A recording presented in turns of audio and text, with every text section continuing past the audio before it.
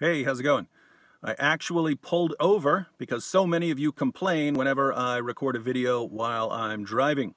For those of you in Oklahoma, there's a debate tomorrow. Now, if you're like me, you didn't know that anything ever happens in Oklahoma. I always thought that Oklahoma is basically a placeholder between Kansas and Texas. But they do have things there. So tomorrow night, that's Thursday, May 2nd, 2019 at 6 o'clock p.m. There will be a Christian versus atheist debate at Rogers State University.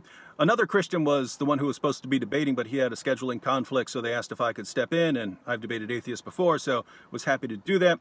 If you're in the area, hope to see you there. All the information is in the description box.